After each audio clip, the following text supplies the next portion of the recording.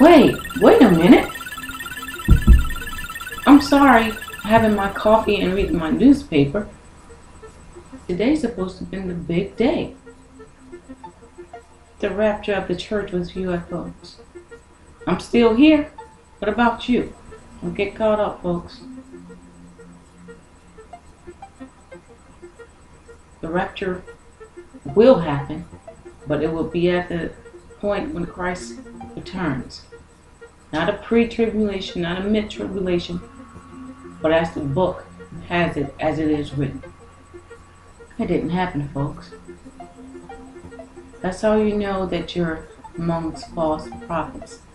And I'm just here in the morning reading my newspaper and having a drink of coffee. October 13th is supposed to be the big day that people were to be raptured up out of here in spaceships. Don't listen to these lies, people.